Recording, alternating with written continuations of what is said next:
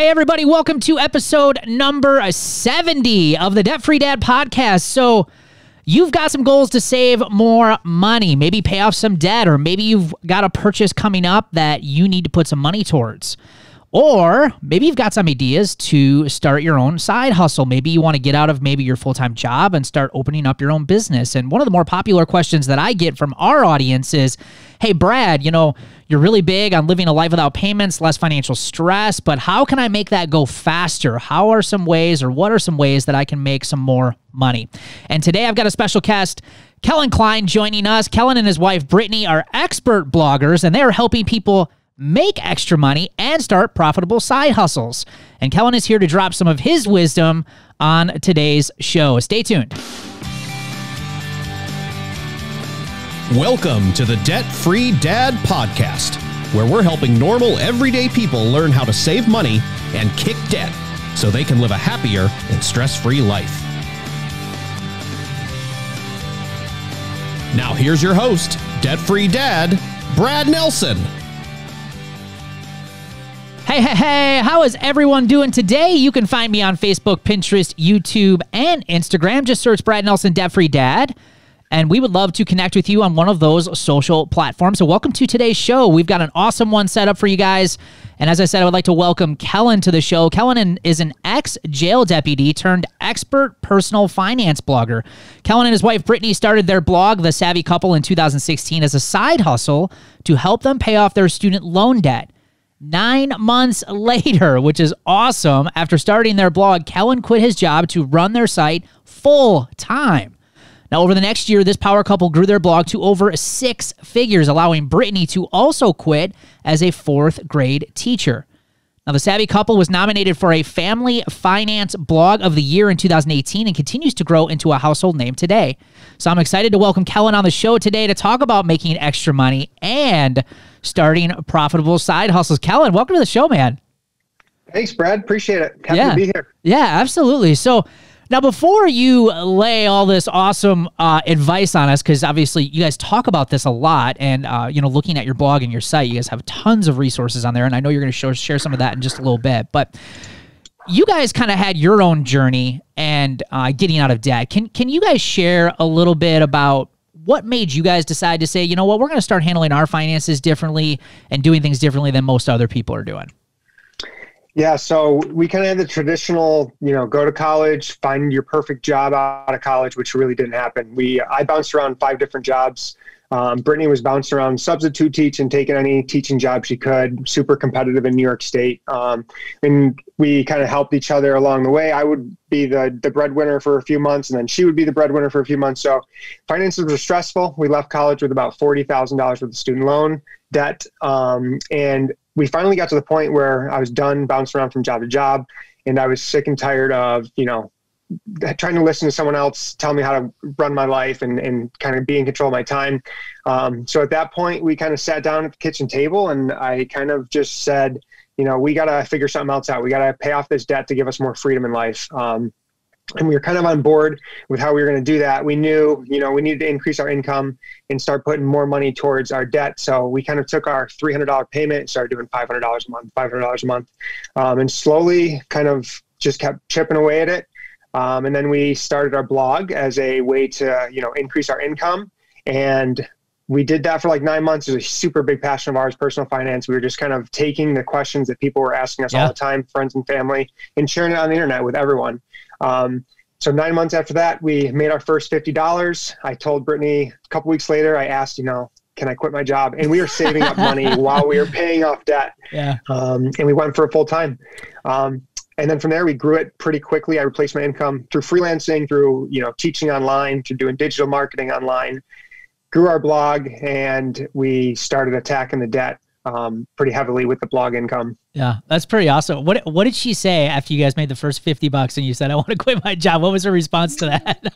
um, well, she's kind of used to me complaining about all my other jobs, so she kind of knew it was coming. Um, and I also was going to school at the, sa- at the same time to be a home inspector. So she knew eventually I was going to have to take this leap of faith and, and start a business Yeah. and do that. So she was very, very supportive. Um, super blessed to have a wife that would allow me to do that. Yeah, absolutely. Yeah, I, I've noticed that a lot. Like people who are who do step out and kind of take that risk. There's definitely that supporting role for sure on the other side. There's no question. But uh, but I love that you you actually have a lot of similarities in, in what you guys decided to do and and what we decided to do. Um, you know, I I too was just tired of, of working for somebody else, helping them realize their dream and, and realizing that I had a lot of things that I wanted to do. And I especially got really passionate about that once I got out of debt and I started to realize, man, I don't have to depend on my income so much anymore. I can take more risks now because I don't have so many payments. I have no payments now. I'm debt free. Exactly. We've got a savings. You know, you're able to take a lot more risks. So I, I think we have a lot of similarities there in both of our stories. Can you share a little bit? Just I- I know you you know you guys started your own business, but what have been some other the best benefits? Because we got a lot of people who are listening to this show. Some people are even new to the idea of of man, you can actually live without payments and debt. Um, but for you guys as a family, what have been some of the best benefits for you guys going on this journey of getting out of debt, taking control of your finances? What do you what do you feel have been the best benefits? Uh, honestly, the best thing is being in complete control of our time. We get to dictate what our days look like. We get to craft them to have our ideal day every day. Um, and having that quality time with Brittany before we had kids, when she was able to quit her job, you know, join me and my we have a, we had a daughter at the time. I was a stay home dad. She was able to join and be you know at home with the with our child all the time. Now we have two beautiful daughters. So just being able to wake up and have breakfast together, have lunch, have dinner, like all of our meals together, and just spend that quality time and and you know go to the zoo on a Wednesday afternoon when no one's there because we have the freedom to do so. So Yeah. just basically more time and more uh, control over it. Yeah, I hear you. I'm with you too. I, I and that's that's one of the greatest benefits, you know. Yeah, and you mentioned the meals. You know, I eat breakfast with my kids. Normally, I would be commuting. Uh, now I sit and hang out with my kids at breakfast. And my son's been doing homeschooling because of COVID this year, and I've been able to hang out with him. We do recess together, go throw the football around outside. And so you know, you you just eh, there's definitely some challenges, and we, we can talk maybe about some of those. But because working from home with your kids all the time is is definitely a whole other animal. Like we could have a whole other Oh, for show sure. about that. but Well, the um, last time we were the last time we were talking, we were interrupted by uh, my daughter having a reaction stuff. Yeah, yeah, absolutely. Yeah, it's definitely something where you you have to be flexible. Um, it is it is totally different than your nine to five job though, but the benefits are worth some of those challenges that you face as a stay at home business. There's no question about that. yeah, So- absolutely. Can you can you share a little bit about um, one of the biggest excuses that I hear as a financial coach and helping people get through a lot of the stuff that we've both gone through is time. You know, Brad, I, I have a hard time finding the time to say do a budget. I love your shirt by the way. It says budget on the top. It's great. yeah, budget. There you go. Equals freedom. I love that. Absolutely. But you know, things like Yeah. that. Hey, you have to start working on a budget. You have to start, you know, working on your financial plan. You have to pay attention to your finances. And one of the number one excuses I think that keeps most people stuck is I just don't have time for it. And they're spending time doing other things. They're just not making the financial side a priority. So, can you share a little bit about because you you made this big transition as did we of of going from a full-time job over to a side hustle over to doing your side hustle completely full-time. So, from a time standpoint, what helped you kind of bust through that whole excuse of I don't have time to do this and focus on this? Like what what was it for you guys? Yeah, I think that uh, it kind of aligns also with someone trying to lose weight um, and saying you don't have time to go to the gym. Um, I think that's just an excuse. As, as we all know, it's an excuse. You don't have time. It's all about priorities. Uh, we knew that we wanted to pay off our debt quicker. We knew that we wanted a different lifestyle. We didn't want to run the nine to five, um, especially me. I needed more freedom in my life. So I knew, you know, if we put in the work ahead of time, pri- reprioritize, reprioritize our life, you know, stop binge watching Netflix for two to three hours every night. You know, we stopped watching TV for that nine months almost completely. Yeah. We're like, we're going to take that two to three hours every day that we'd be watching TV and work on the business and, and work on writing articles and publishing and, and figuring out this blogging thing. So we really gave up, you know, TV. We gave up uh, weekends. We instead of going out with the friends and doing stuff like that, we would spend most of our time kind of just hustling on the side hustle and really committing to growing it and seeing it through. Um, so it's just all about priorities. You can make enough time as long as it's a top priority for you. Yeah, absolutely. And I think um, that that's where most people end up getting stuck too is they focus on a lot about what they have to give up and they don't focus enough on what they're going to gain by giving up some of those things. You know, and and I think that's key. So r- real quick cuz you guys live this really different lifestyle now. You make money in a really strange way compared to what most people make money. Any of your friends and family have anything to say about it as you guys were kind of doing this stuff and making some of these big decisions? Was there were there any comments or anything? Yeah, so I remember vividly taking my mom out to lunch to kind of tell her I'm going to quit my job and do this blogging thing full time, um, just to see what she would say and and kind of get her blessing to do so as well. And I remember her just looking at me and like, Kelan, this is like like going to the NBA. Like very, very few people are able to do this. And I just, that kind of motivated me and put a chip on my shoulder. Like, I'm going to do this. I'm to prove it wrong. And yeah, uh, I would say the first year before we were really making money, people were like, man, this, this guy gave up a, you know, a pension, a, a salary that's going to max out at 75,000 a year, all that security, the health insurance to do this thing that might work. Um, so it was a big risk. And now that, you know, we've been able to prove that it works and both quit our jobs and do this full time, you know, we have family members always starting blogs and, and asking us for advice. oh, I love that. I love that. It's, it always it's, comes full circle like yeah, that. Absolutely. They're going to doubt you at first, but then they're going to come back and be like, hey, can you help me? Right? 100%. Yeah. That's interesting. Hey, we're going to take a quick break. We're going to do a quick commercial and then we're going to come back. And then Kelan's going to share some great ways for you to start maybe some side hustles and making some extra money, maybe to make some headway on emergency funds, paying off debt, or maybe even eventually one day being able to move out on your own and start your own business. Stay tuned, guys. Hey, if you love planners, this is for you. But do you know why planners frustrate me? Because they only really get it half right. Now, sure, they're really good and fancy about helping you manage your time, which is really important, obviously. That's what a planner's for. But where they get it wrong is money, the second most valuable resource in our lives. Most planners don't include any financial planning, things like, you know, keeping track of paydays, bills, due dates, spending, yearly expenses, budgets, cash flow planning, debt elimination plans, and goal planning, right? None of that stuff. That's a real pain. And then what? Then you got to create your own in some silly binder, right? And who has time for all of that stuff? So instead, what happens? Nothing, right? A lot of people tend to ignore their finances even more, and things only get worse. Well, that all ends today because I am so excited to announce and release my brand new, totally awesome debt freedom planner. This thing's awesome, by the way. Now, before you say, Brad, I've already got a planner. This is not an ordinary day planner. This is the Debt Freedom Planner, which is a companion tool that works with your day planner, and it's built to help you manage your money, pay off more debt, and melt away financial stress. And, and I believe this is the tool that a lot of people who want to take control of their finances have been waiting for. So head on over to therealdebtfreedad.com, click on the Debt Freedom Planner in the menu to get access to your planner today.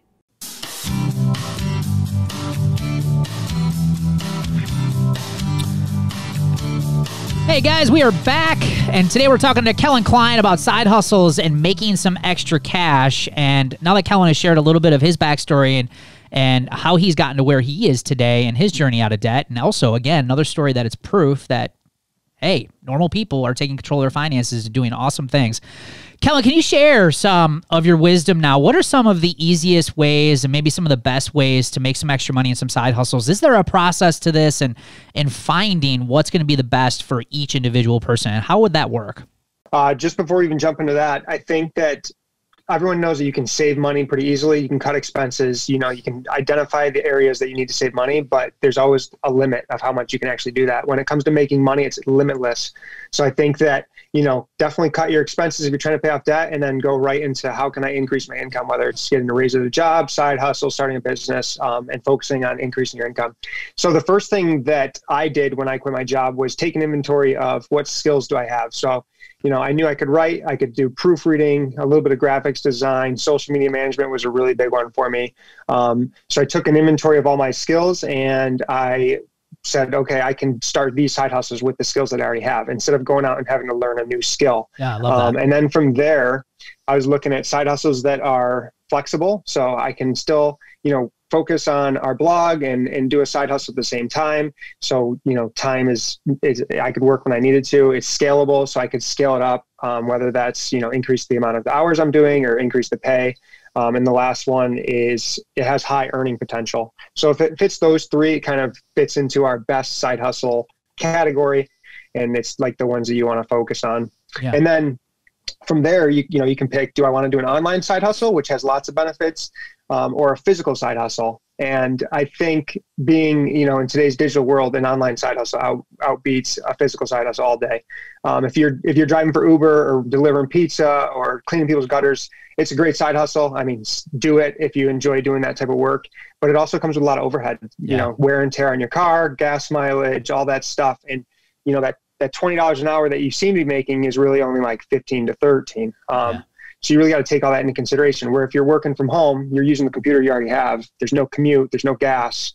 You're you know you're straight profit, which is which is awesome. Yeah, absolutely. I think I think one thing I, I know where because I, I, I talk to a lot of my members, this question comes up a lot, and I think where a lot of members doubt themselves is their is their is their skill and do they have the ability to do it. And I love the fact that you started this whole uh, thing off with sitting down and figuring out okay what what skills do you have mastered that would be of value to other businesses out there. And and man, I, I see opportunities all the time uh, for this. In fact, yesterday I had someone join one of our upcoming workshops that we've got, and they're a bookkeeper. And I've worked with a lot of and talked with a lot of online business owners, and they're not financially savvy like we are, and they have they struggle with managing their books and managing their business finances. And it's like you want to start your own business as a bookkeeper, look at the online business marketplace. Like there are so many different opportunities for just something like that. So I think if you're if you're having trouble believing if you could actually make money online, I think it really kind of comes down to establishing your skill set and then finding what fits within there. I love that. Love that advice. Yeah, for sure. And bookkeepers can make a lot of money. They can make upwards of fifty dollars an hour. So yeah. it's a great side hustle. Absolutely. And and like one one that almost anyone can do is da- data entry. Um, you know, we have stuff in our business that needs data entry, and and we hire a virtual assistant to help us do that. There's there's literally endless opportunities, um, and, and like you said, it's just finding that skill set and, yeah. and being comfortable of putting yourself out there and looking for work and, and bringing value to other people. Absolutely, yeah. I mean, right now uh, the individual who actually edits my podcast is is like 18 19 years old. And and he just got into video you know editing podcasts. We connected on fiverr and now he does this for me all the time. Like in yep. you know young kid does an awesome job. So i mean it's just again finding something you're interested there's totally opportunities online especially just off of your phone. So many great ways to make money. I love that yeah, so I can kind of dive into our top five if you want. Yeah, that'd be awesome. Yeah, why don't you share like because I think people are probably wanting to know like what are the big kind of areas where you're seeing where most people are starting to see some some good profit. Yeah. So the very first one is flipping items. Uh, this is something I learned when I was 13 years old. This is kind of what set the spark inside of me to become an entrepreneur. And holy crap, I can make money online without leaving the house was a huge mo- moment in my life. Um, but yeah, take an inventory of stuff around your house, in your closets, in your garbage, or not garbage, garage, maybe in your garbage. Um, and basement and and looking them up on eBay and seeing how much they've sold for in the past, listing them and uh, making the profit on that. I actually have this Garmin GPS that's listed right now. I found at my parents' house. Um, they're moving and they were going to throw it out, and it's worth 150 bucks. So I listed wow. it, and I'm hopefully going to make 150 dollars in like 10 minutes of time. Now you're going to tell your parents that you made 150 bucks. I mean, I probably will. Yeah. they, they can keep half or something. We'll come up with a deal. Too funny. yeah, I love the I love the turning stuff, and I think this is one of the number one ways. In fact, I was watching a, a documentary not that long ago. It said the average household is one of the minimalist documentaries on Netflix that just came out. Um, it said the average household has about three hundred thousand items in it the average household. 300,000. I was blown away. So yeah, I mean if you're looking for ways it could be just right at your feet in your closets in your garage in your attic. Exactly. There's so many different opportunities there for sure. Yeah, we we've multiple times. So we found a kitty house uh, that was like an old antique one that we found on the side of the road. We picked it up, rinsed it down. We sold that for 150 dollars. Uh, I also found a tripod in the garbage last summer uh, when we were just on a family walk in, in our neighbor's garbage and I sold that for $89. So there's there's literally money that people are throwing away. Yeah. And you definitely have money in your house with stuff that old electronics, just yep. anything in your house that you're not using and yeah. you don't plan on using, you know, you can turn for profit. What is your what are your thoughts on doing like flipping where you say go to like secondhand stores? Like do you do you get into some of that stuff and do you have any advice in, in those areas? So we we haven't done much of that. Uh, both of my brother-in-laws are very into it, especially with the sports memorabilia cards. But yeah, as long as you know you know the items you're getting, you kind of find your niche, and, yeah. and you're able to evaluate things as you see them, and you have your phone on you. You can look up the value on what they've been selling for. Yeah, that's a great. You know, you can go to garage sales, you can go to thrift stores, and find items to to buy at a low price and then sell on eBay. That's you know worldwide where you can ship it out and make a higher profit on them. Yeah, that's awesome. We had one of a uh, person in one of our Facebook groups who had mentioned that they were doing this, and I, I, I don't remember the time span, but they had made about fifteen hundred dollars just going to some of the secondhand stores and finding things that they could easily flip. So yeah, all yeah, all great ideas. Cool. What else yeah. you got? Yeah, so the second one is freelancing, um, and this is kind of like what we talked about. It's bookkeeping, graphics design, social media management, writing, proofreading, all these skills that online business owners need to do and that we want to outsource. Like you and me have limited time. We have a lot of things on our plates. Yeah. Uh, not only being father, but being an online business owner. You know, we're always juggling a million hats at the same time, and we need to outsource stuff. So, you know, taking some of those skills and going out and looking on places like Fiverr, looking on Upwork, freelancer.com. There's always job postings and, you know, they can range from anywhere from $10 an hour up to 50 to $100 an hour, depending on the skill set that you have um, and you kind of just you know learn the skills that are going to help online business owners and take take stuff off their plate for them. Yeah, absolutely. And I think the the piece of advice that I would add to that is just if you go that direction, if you can just up your service just a little bit more than everybody else, it's not that hard to beat out your competition and just really wowing the people that you're serving. Um, and sure. it go it goes a long way. Like it's sometimes hard to find people that are reliable are going to do what they say they're going to do. And, and if you can be that person, you, you'll have no problem making some extra cash that way. That's awesome. Yep. And the online business world is pretty close knit, especially in the blogging world. And, you know, there's Facebook groups. So if you do a good job for the first client, first couple clients, you know, referrals are going to just start pouring in. Yeah, absolutely. Love that. Yeah. So the third one is blogging, of course. Uh, it's changed our life. You know, it's changed a bunch of people's lives. And, I think that, you know, it's definitely not too late. People always ask, is it too late to get into blogging? Is it too late to start a podcast, a YouTube channel? The answer is no. Um, unless these platforms go away and people stop searching on the internet and, and, you know, looking for advice, you can be that person that, you know, you have a passion, whether it's personal finance or weight loss, health and fitness, whatever it may be. Um, and basically create content that's going to help people solve their problems and, you know, learn SEO, social media marketing, and you can you can earn a lot of money through blogging. Still, um, I think if I were to start one nowadays, I'd definitely pick a, a niche that's very narrow um, and kind of broaden it from there. But focusing on one passion that you have uh, or expect expertise that you have and build out a site that way. Yeah, I love that. When you, now when you say make money on blogging, like how do you actually can you can you dig into that just a little bit? How do you actually make money blogging? Like you're posting content, you're teaching people, you're sharing great stuff, but how do they actually monetize that and and bring in money for it? Can you can you walk through sure. that a little bit? Yeah, yeah. So, obviously like you said, the first thing is getting that traffic. So, creating content that that solves people problem, gets them to your blog, whether it's social media or or Google. Um, and once you get them to your blog, you know you make ads through, or you make money through advertising. So display ads, which everyone is used to now seeing, affiliate marketing. So you're partnering with brands, and when someone clicks on a link and signs up or purchases, you get a commission from that. Um, that's a big part of blogging. You can sell your own digital products or, or do your own services like coaching. Um, you know, you sell your planner, you can do that stuff like that, make really good money. Courses, and then the final one is through sponsorships, and that's really the one that the year that we were I was growing the blog well, we were growing the blog to six figures and allowing Brittany to quit her job. We really focused on sponsorships because it was a quick, quick hit for money. Um, and the final month and the final push, it was, I think, May, and Brittany's teaching ended in June. We made more that month with our blog than she made her entire salary for an entire year, um, which was just like a huge sign from above like you guys got to do this together. You're meant to you know run the blog together. So sponsorships are another way to really make some money. So you can be really diversified and i love yeah. that about blogging is you know you can have so many multiple streams of income and, and once you put in the work and effort it pays dividends later on and, and becomes passive income. Yeah. Now to overcome the objection that someone might be saying is like i don't know anything about that. So when you guys first started did you know how to do any of this stuff No, no. I, I, so, I, so I have dyslexia, ADHD. I'm, I'm awful at writing. I'm awful at reading. Um, and I was writing articles, you know, two, three times a week and, and just, we just dove in head first and we were like, this is what we want to do. We want to have an online business that gives us ultimate freedom in life with our time. And this is what we need to do. So we dove in and, you know, we invested our time and effort into getting over the learning curve, which it is a big learning curve, especially if you've never done anything technical online. But, you know, learning the software that you need, WordPress and, and just figuring out okay how do how how does a title get people to click a lot more and and what type of content is going to get people to stay? And you know it's a big learning curve and you kind of just dive in and, and learn it. Yeah there's no question about it. If if i looked back and and thought about everything that i had to learn to be able to run this business successfully um it was a lot, but it, it was yeah. so worth it. It was so worth it to be able to have the freedom and flexibility to run an online business and, and literally be able to work from anywhere I want when I want.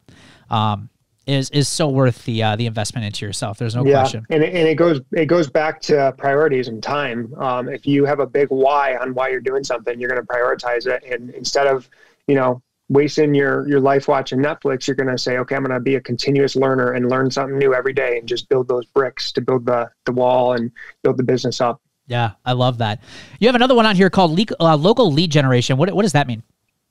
Yeah, so uh, local businesses they want leads, which are just customers. So whether it's a home gym, or I'm sorry, just whether it's a gym or a lawyer or a uh, landscaping business, they're all looking for more clients um, to keep their busy busy schedule.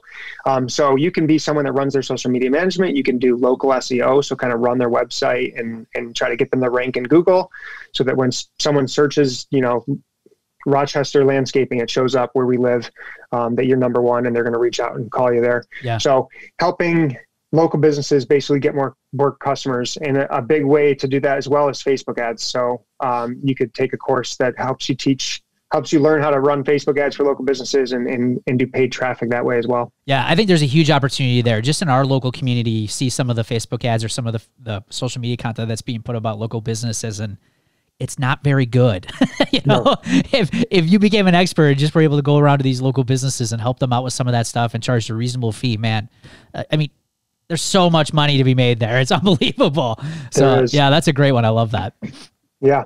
Yeah, so the last one here I have is teaching for VIP Kid. So it's not just VIP Kid. There's also uh, a couple other ones, but this is the company that I worked for when I quit my job to kind of increase my income and you know put more money towards the blog at the same time and have a flexibility to do so. So you basically sign up and you can start teaching Chinese students English online. Um, and I didn't have a teaching background. They still hired me. Um, and it was honestly one of like the better experiences I had making money online. Really? It was so much fun to sit down. You know, you do 30 minute uh, lessons and all the uh, lesson plans are already done for you. So you're kind of just reading off slides and interacting with the students and teaching them English. And it was a lot of fun and it paid $20 an hour and it was flexible. You could set up your own schedule. Um, so that's definitely one, especially if you're a teacher in the summer, it's perfect side hustle for you. That is fascinating. I've never even heard of that before. That, yeah, that is awesome. So, so you literally, so can you walk through that? So you sign up for it, and how how often were you sitting down and doing those teaching lessons? Uh, yeah. So when I had someone reach out to me, uh, VIP kid coach to get me to sign up, I was like, this is way too good to be true. Like right. it's one of those schemes. Like I do not believe it. I cannot set my own schedule, make 20 bucks an hour because I was brand new to the online world too. We were just building our blog and we weren't making any money. So I was like, I got to do this. So I committed again. I'm, I'm a very passionate person. When I say I'm going to do something, I do it. And uh, within two weeks, I got through the application process, got hired, and I was teaching. And, and being a male helped uh, for sure because it's very competitive for, for females, and males definitely get an advantage there. Um, but yeah, my schedule was you know filled within the first month, and you I could kind of set my schedule, and I I would teach from 5 a.m. until 8 a.m. so three hours a day uh, making twenty dollars an hour, and I would just you know pad the paycheck from online, and then after eight o'clock, I'd be able to work on the blog the rest of the day. So I was able to make my income early in the day, and if we went on vacation or I didn't want to work that that week, I could just put it off the schedule and no harm done. Yeah, that's awesome. Now you you bring up um, a point, and I know we didn't put this on kind of our list of things that we want to talk about today, but it it is something I, I we should talk about. You mentioned like schemes, like you know, are there things that you've done or come across in the past while trying to find ways to make money where you've had to go through and are there any qualifiers that you use to kind of make sure that this is like a legit thing, or is it kind of like you're using your spidey senses? Uh, yeah, there's definitely some red flags. Um, usually the people sitting in front of a Lamborghini talking about knowledge, like Tai Lopez, yeah. people to stay away, people yeah. to stay away from. um, but yeah, you, you got to do your due diligence when you're coming across, you know, things that are making making money online, and it sounds good, too good to be true. That's my biggest red flag. If it sounds way too good to be true, uh, 99% of the time it definitely is. Yeah. Um, so just, you know, be cautious and, and talk to people that have been doing it already. And, you know, don't just listen to one person and, and do your research online. But yeah, for the most part, stay with the stuff that we talked about today. And there's no risk in any of this stuff for sure. Yeah. Um, it's more those courses that are $2,000 that are going to change your life instantly with no work that you got to be careful about. Yeah, absolutely. Awesome stuff, Kelan. So how can uh, people find more stuff about you? Cause you guys, I mean, seriously have so many awesome resources, not only in your site, your blog, your YouTube channel. Um, you guys are crushing it with giving some helpful information. Can so can you tell our audience where, where they get some more information about you and what you guys are doing? Sure. Uh, yeah. So you can just go to thesavvycouple.com. We also have a YouTube channel. Everything's the Savvy Couple. So you can find us on all social media platforms. And we're all about helping people keep more money in their pocket to live a life of freedom. So whether that's saving money, paying off debt, or making more money online, we are here to help. That is awesome. Hey man, thanks for hanging out with us here and uh, taking some time. It was uh, is appreciated, and uh, you guys got to check this stuff out. Not only is Kelan going to be able to help you guys make more money and find that side hustle, but he also is very in line with a lot of the financial principles that we talk about on this show. And I know that they're sharing a lot of that great info there too. So it's always great to kind of expand your horizons and learn from other people. And Kelan's a great guy, and their family's awesome uh, to learn. And, and, obviously they've gone on this journey as well. So uh, thanks for hanging out with us here, guys. Hey, hey, what's inside? I thought this was a party! Let's dance!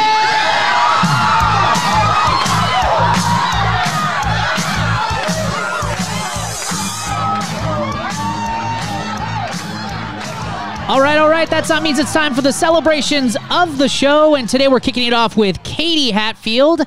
Katie said she got my bonus, replenished my emergency fund, paid all my bills for the month, and got my taxes done. Awesome wins. Great job, Katie. And Daria Childs paid a $2,500 car repair bill in cash, put $1,200 into savings this month, eliminated four debts totaling $5,000 so far this year, and hoping to have three more gone by August. That is impressive. And man, what a painful car repair for 2500 bucks, but to be able to pay cash, that's uh, that's awesome. Great job. Love that. Uh, Heather Chadwick, uh, this week I was able to pay $565 cash for four new tires for my vehicle. All my bills for the month are paid. That means my next two weekends at work, the money will go into my emergency fund and my son's birthday fund. Heck yeah. That's awesome. Great job, Heather. Uh, Amelia Welch, I've paid $500 extra on my Capital One card this month. Amazing. It's down to three digits, and I plan to have it all paid off in the next month. That is awesome. Great job. Samantha Wilkins took Brad's budgeting course while I waited for the spring session to start. Man, building my first crappy budget and laying out my debt like there was that was painful and exactly why I was so fearful to start last year, but felt very empowering to finally face the fear and do it. Looking forward to learning and growing more. Yeah, that is awesome. Samantha joined us for our spring session in Roots Personal Finance and uh, let's that's just one of the things we say. Like when you first start budgeting, just commit to doing a crappy budget, not a perfect budget, but a crappy budget, and it gets better from there. So that's great. Great job, Samantha.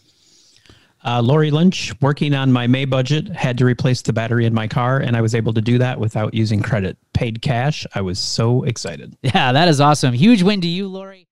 Hey, thanks for hanging out with us here today. We love your feedback, and it also helps us grow our YouTube show. So please give us a like or leave us some honest feedback on this video. And if you want the latest from the show, obviously be sure to hit that notification bell and subscribe to our channel. And for the latest resources, or if you want more information on how to kick debt and financial stress, please be sure to check out the links in this video or head over to the real debtfreedad.com. We'll see you guys on an upcoming show. Take care.